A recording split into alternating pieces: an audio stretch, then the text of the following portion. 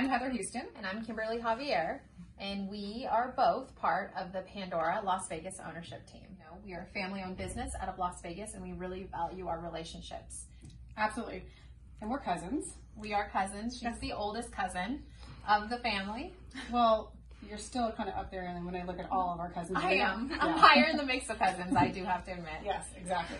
Um, so we love working together, Yeah. and we just wanted to introduce ourselves because I think now more than ever we decided that you know it's all about the connections, and that's what Pandora is all about. But now more than ever, it's so important to connect with one another and you know build those relationships.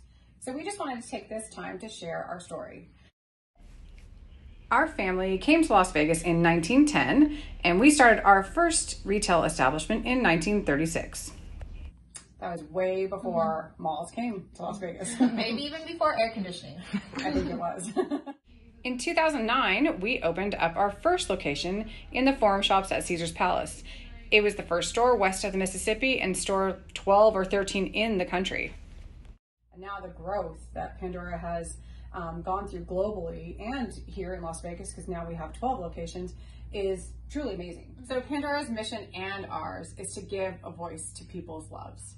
It's all about the people and the places and what we're passionate about. Yes, the people and all of those people that we hold dear to our hearts, the places that inspire us, like Las Vegas, Of course. and the passions that drive us. So thank you. Thank you for allowing us to be a part of this amazing, amazing Las Vegas community. Thank you for supporting us in our retail stores with this meaningful brand. And thank you so much for being a part of our Pandora Las Vegas family.